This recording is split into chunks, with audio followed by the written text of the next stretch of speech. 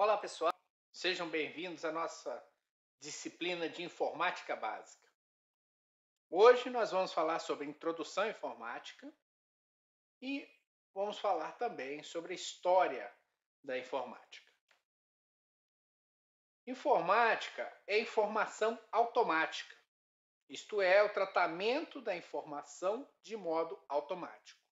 Portanto, informática pressupõe o uso de computadores eletrônicos no trato da informação. O neologismo foi criado na França em abril de 1966 como alternativa à Information Science, até então acolhido pela comunidade internacional. Pode-se considerá-la como situada na interseção de quatro áreas do conhecimento. São essas áreas: ciência da computação, ciência da informação, teoria dos sistemas e cibernética. A ciência da computação preocupa-se com o processamento dos dados, abrangendo a arquitetura das máquinas e as respectivas engenharias de software. Isso é a sua programação. A ciência da informação volta-se ao trato da informação, notadamente no tocante ao seu armazenamento e a sua veiculação. A teoria dos sistemas sugere a solução de problemas a partir da conjugação dos elementos capazes de levar a objetivos pretendidos. E a cibernética preocupa-se com a busca da eficácia através das ações ordenadas sobre convenientes mecanismos de automação. Dando continuidade, vamos falar sobre o histórico da evolução dos computadores. Para isso, nós vamos utilizar a cronologia apresentada no livro do Mário Monteiro, que apresenta os dispositivos mecânicos, dispositivos eletromecânicos, os dispositivos eletrônicos, computadores com válvula, com transistor, com circuito integrado, computadores com integração em larga escala e, por fim, a quinta geração, que é apresentada no livro do Veloso. Dispositivos mecânicos. Esse período vai de 3000 a.C. até 1980 desde o advento do ábaco até a invenção de Charles Babbage. O conceito de efetuar cálculos com algum tipo de equipamento vem dos chineses com registro de sua existência em 2500 a 3000 anos antes de Cristo. Esses equipamentos utilizados pelos chineses eram chamados de ábaco e posteriormente tem-se registro do uso desses dispositivos tanto pelos babilônios quanto pelos romanos. Depois, uma evolução conhecida do ábaco surgiu em 1500 através de um calculador mecânico inventado por Leonardo da Vinci. Por volta de 1620, outra invenção para cálculos foi criada pelo matemático William Oughtred, chamada de régua de cálculo. Foi no século 17, em 1642, que surgiu efetivamente uma máquina para cálculos, quando o filósofo matemático Blaise Pascal construiu um contador mecânico que realizava operações aritméticas de soma e subtração através de rodas e engrenagens dentadas. Algum tempo após a invenção de Pascal, Gottfried Leibniz construiu uma calculadora mais completa que a de Pascal, porque realizava as quatro operações aritméticas. Em 1801, Joseph Jacquard produziu com sucesso um retrato em tecelagem cuja produção foi inteiramente realizada de forma mecânica e controlada automaticamente por instruções registradas em cartões perfurados. Percebam que esta invenção de Jacquard não está ligada diretamente ao uso de dispositivos mecânicos para o cálculo, mas a sua automação utilizando cartões perfurados é muito importante para a história da informática porque pôde automatizar o dispositivo, o tear mecânico, que conseguiu fazer a tecelagem pré-programada nesses cartões perfurados. Um dos últimos e mais importantes trabalhos pioneiros da computação por processos mecânicos foi realizado por um inglês de nome Charles Babbage, que em 1823 foi contratado para produzir uma máquina calculadora programável. E essa máquina, é, através desse contrato, ele construiu a máquina analítica. Né? A máquina era, na realidade, um computador mecânico capaz de armazenar mil números de 20 algarismos e que possuía um programa que podia modificar o funcionamento da máquina, fazendo-a realizar diferentes cálculos. Embora inteiramente mecânica, a máquina analítica possuía essencialmente os mesmos componentes de um computador atual: memória, processador e saída. Dispositivos eletromecânicos. Esta fase vai desde a construção de uma máquina pelo Hermann Olerich até o Mark I. Compreende entre 1880, a década de 1880, até a década de 1930. Em 1889, Hermann Olerich desenvolveu cartão perfurado para guardar dados e também uma máquina tabuladora mecânica acionada por um motor elétrico que contava, classificava e ordenava informações armazenadas em cartões perfurados. O Bureau of Census dos Estados Unidos contratou o Olerich em 1890 para utilizar sua máquina tabuladora na apuração de dados do censo de 1890.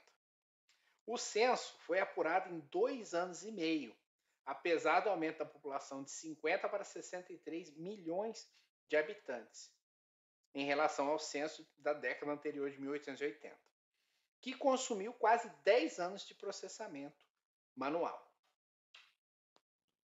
O sucesso de Olerite com a apuração do censo conduziu à criação em 1896 da Tabulating Machine Company, em 1914, essa empresa fundiu-se com outras duas, formando a Computer Tabulating Recording Corporation, que depois foi renomeada em 1924 como, como International Business Machines, a conhecida IBM. A primeira máquina de calcular eletrônica somente surgiu por volta de 1935, e o seu inventor foi um estudante de engenharia, o Konrad Zuse, e esta máquina era baseada em relés mecânicos que utilizavam um um teclado como dispositivo de entrada e lâmpadas como componentes de saída.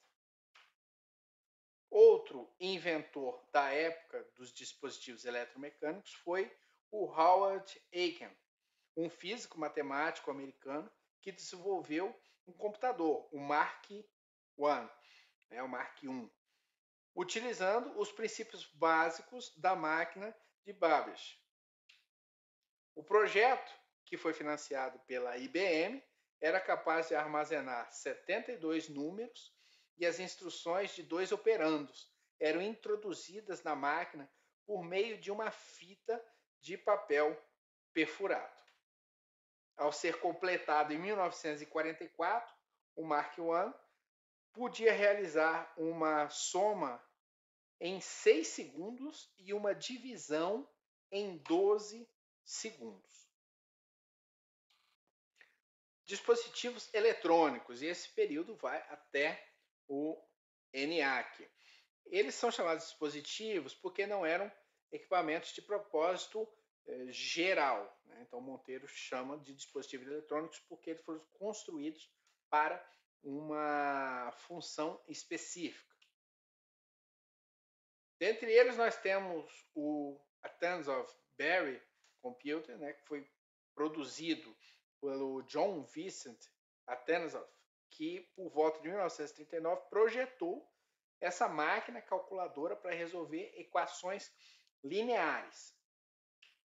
E também o primeiro computador verdadeiramente é, eletrônico foi colocado em operação em 1943, com o propósito de quebrar códigos militares secretos de comunicação dos alemães.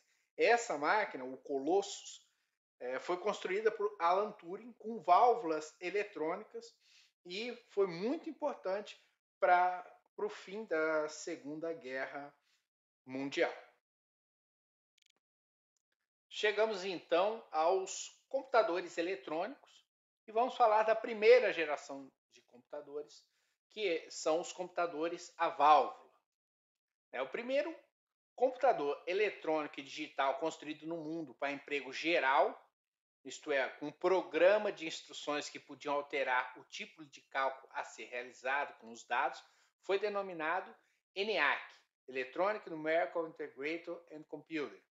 Ele foi projetado pelo John Macaulay e pelo John Eckert, de 1943 a 1946, tendo funcionado daí em diante até 1955, quando foi desmontado. O ENIAC era uma máquina gigantesca, contendo mais de 17 mil válvulas e 800 quilômetros de cabos. Pesava cerca de 30 toneladas e consumia uma enorme quantidade de eletricidade, além de válvulas que queimavam com grande frequência devido ao calor. O ENIAC era extremamente rápido para sua época, realizando cerca de 10 mil operações por segundo. Depois nós temos o EDVAC, Electronic Discrete Variable Automatic Computer. Ao contrário do ENIAC, que era, ele era binário em vez de decimal, e foi projetado para ser um computador com programa armazenado.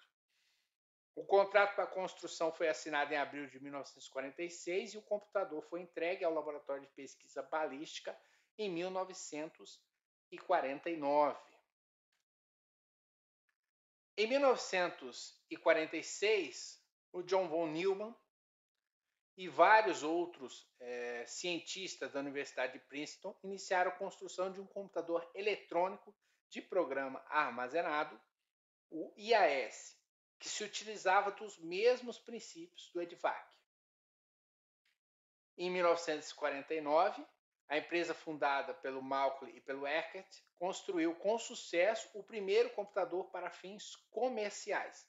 Esse computador se chamava Univac 1, Universal Automatic Computer. Em 1953, a IBM, até então mais voltada e com sucesso para a construção e comercialização de equipamentos de processamento por cartão perfurado, lançou o seu primeiro computador eletrônico de programa armazenado, o IBM 701, voltado para o processamento científico. Chegamos então à segunda geração dos computadores eletrônicos, são os computadores construídos com transistores, os computadores transistorizados. A eletrônica moderna surgiu em 23 de dezembro de 1947, quando três cientistas do Bell Laboratories, o John Bardeen, Walter Brattain e William Shockley, produziram pela primeira vez o efeito transistor. Os transistores se tornaram não só um sucesso em toda a indústria eletrônica, devido ao seu custo, tamanho desempenho melhores que os dispositivos a válvula, como também formaram a base de todos os computadores digitais até os dias atuais. O TX0 Transistor Experimental Zero foi o primeiro dos computadores transistorizados, embora apenas de nível experimental desenvolvido pelo MIT. Depois, em 1960, a DEC, a Digital Equipment Corporation, lançou o PDP-1, iniciando uma longa série de computadores eficazes e tecnologicamente avançados. Essa nova geração de computadores também teve, e muito, a participação ativa da IBM, já se firmando como uma das mais importantes companhias na produção de máquinas científicas. Ela transformou a série 700, né, da, da primeira geração, em série 7000, essa transistorizada, e o primeiro deles foi o IBM 7090. Além do domínio na computação científica, a IBM também produziu uma máquina comercial de enorme sucesso para a época, que foi o IBM 1401. E a CDC, a Control Data eh, Corporation, que lançou em 1964 o sistema CDC 6000, voltado primariamente para o processamento científico. O supercomputador CDC 6600 era capaz de executar até 3 milhões de instruções por segundo, três vezes mais rápido que o seu concorrente mais próximo, que era o supercomputador da IBM, o IBM 7030. Chegamos então à terceira geração de computadores, os computadores com circuitos integrados. Em outubro de 1958, o Jack Kilby, da Texas Instruments, colocou dois circuitos em uma peça de germânio. O dispositivo resultante era rudimentar e as interconexões tinham que ser realizadas por fios externos. Mas esse dispositivo é, em geral, reconhecido como o primeiro circuito integrado fabricado no mundo. Logo em seguida, o Robert Noyce integrou múltiplos componentes em um substrato silício. Os dispositivos comerciais que se sucederam mostraram a vantagem do silício sobre o germânio e permitiram o surgimento de uma nova geração de máquinas mais poderosas e menores devido à integração em larga escala que os circuitos integrados proporcionaram. Em 1964, a IBM se utilizou das recentes inovações tecnológicas na área da microeletrônica, né, os circuitos integrados, e lançou a sua famosa família de computadores da série System 360. Além da família System 360, essa época de LSI, Large Scale Integration, presenciou também o lançamento de um outro mini computador da DEC, né, chamado de PDP-11, uma das máquinas mais famosas em sua categoria. O, o sucessor do PDP-11, o sistema VAX-11, também teve o mesmo sucesso, especialmente no ambiente universitário. Continuando na evolução dos computadores eletrônicos, nós chegamos à quarta geração, que é a geração dos computadores com integração em larga escala. O termo VLSI, Very Large Scale Integration, integração em muito larga escala, caracteriza uma classe de dispositivos eletrônicos capazes de armazenar em um único invólucro milhares e até milhões de diminutos componentes. A técnica de miniaturização de componentes eletrônicos, ou microeletrônica, conduziu por volta de 1971-1972 o desenvolvimento de um outro tipo de computadores até então inexistente no mercado, que são os computadores pessoais ou microcomputadores. Os computadores pessoais surgiram com o lançamento do Altair em 1975 que pode ser considerado o primeiro computador pessoal oferecido com fins comerciais. Esse microcomputador, construído pela empresa MITS, baseava-se num microprocessador Intel 8080 e utilizava um interpretador da linguagem BASIC desenvolvido por Bill Gates e Paul Allen. Projetado por Steve Wozniak e comercializado pelo Steve Jobs, o Apple I é um computador de placa única para amadores lançado em 1976. Ao todo, cerca de 200 unidades foram vendidas antes que a Apple anunciasse o Apple II. Em 1977 ocorreram três grandes lançamentos. O primeiro deles foi o PET da Commodore, com quatro ou 8 KB de memória e processador de 1 MHz. Também foi lançado no mesmo ano o TRS-80 da Tandy Radio Shack, com 4 KB de memória e processador de 2,5 MHz. além do Apple II, com 4 KB de memória e processador de 1 MHz. Em 1979, a Texas Instruments lançou o seu próprio computador com um processador é, TMS 9900, uma das CPUs mais rápidas disponíveis né, para um computador do, doméstico. Tinha uma ampla variedade de placas de expansão e tinha uma velocidade de 3 MHz.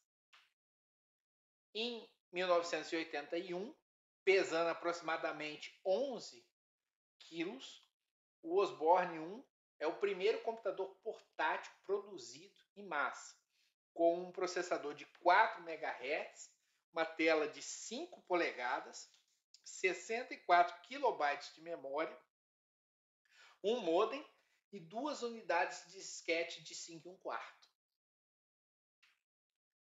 Em 1981 também, a IBM anunciou seu próprio computador pessoal, o PC, Personal Computer. Né? O IBM modelo 5150, com microprocessador Intel 8088 de 4,77 MHz, 16 KB de memória e sistema operacional MS-DOS da Microsoft. Revolucionou a computação comercial ao se tornar o primeiro PC a ser amplamente adotado pela indústria. O IBM PC foi amplamente copiado né, e levou à criação de um vasto ecossistema de software, periféricos e outras mercadorias para uso com a plataforma.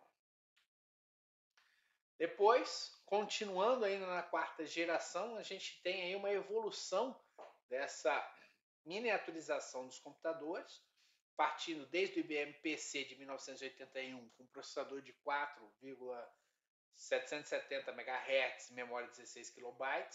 Depois a gente passa para o IBM XT em 1983, ainda com processador de 4,77 MHz, mais com 128 KB de memória. Depois, em 1984, o IBM AT com processador de 6 MHz e 256 KB de memória. E em 1987, com o IBM PS2, processador de 10 MHz e 1 MB de memória RAM.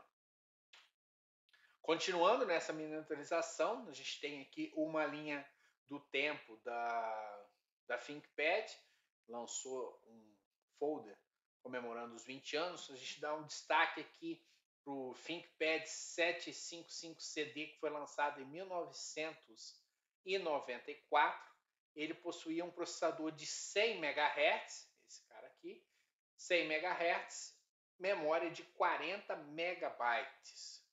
Seguindo ainda nessa linha do tempo, a gente pode destacar em 1999 o ThinkPad 570, que ele tinha um processador de 233 MHz e 192 megabytes de memória. Continuando, em 2008, o ThinkPad X300 é, tinha um processador de 1,2 GHz, Core 2 Duo da Intel, e memória de 4 GB.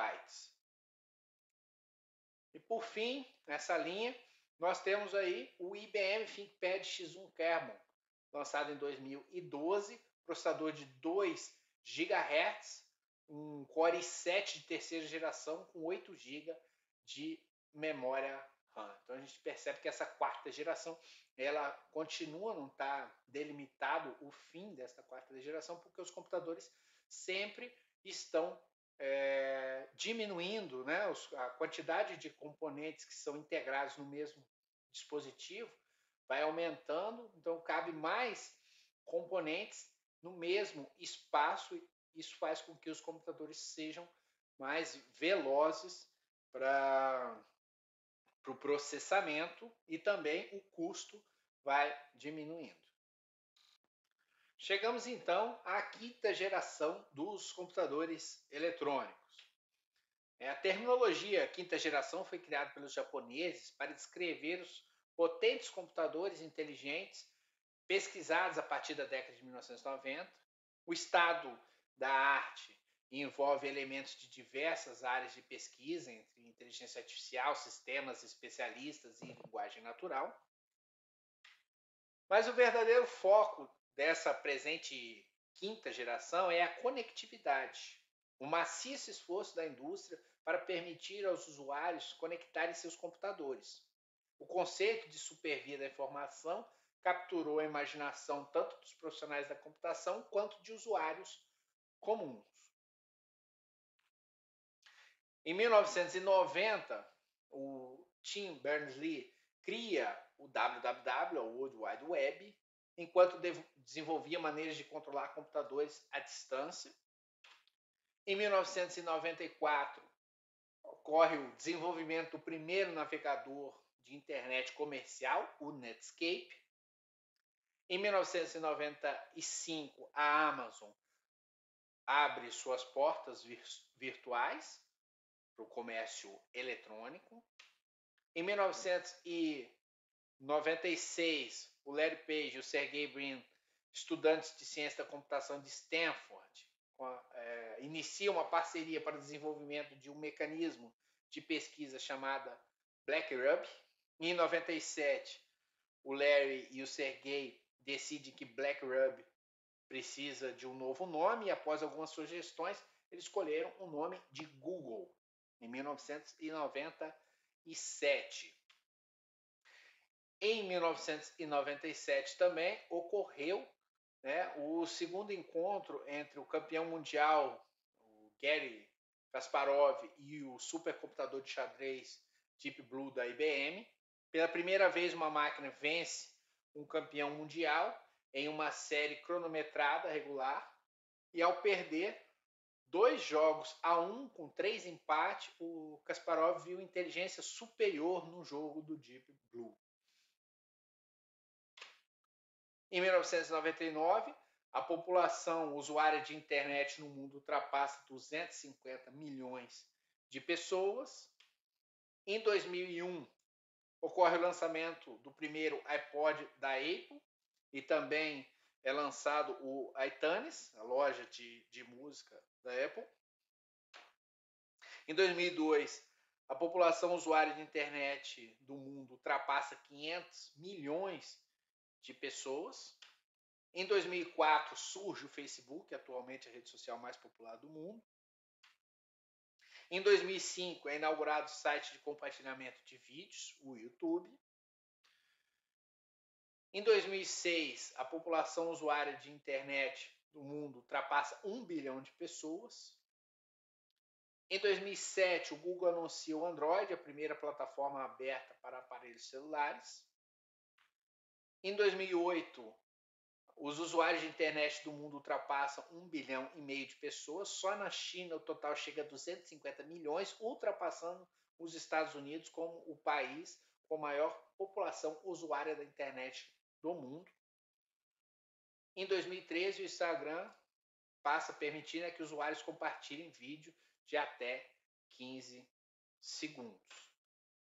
Então, essa quinta geração, além dessa corrida pelo, pela conectividade, ela se apresenta como a, a computação em nuvem. Né? A computação em nuvem é apresentada nessa quinta geração dos computadores é, a computação em nuvem é um pool virtual de recursos que são fornecidos aos usuários através da internet. São vários serviços, conforme a gente viu aí, YouTube, Facebook, Instagram e vários outros.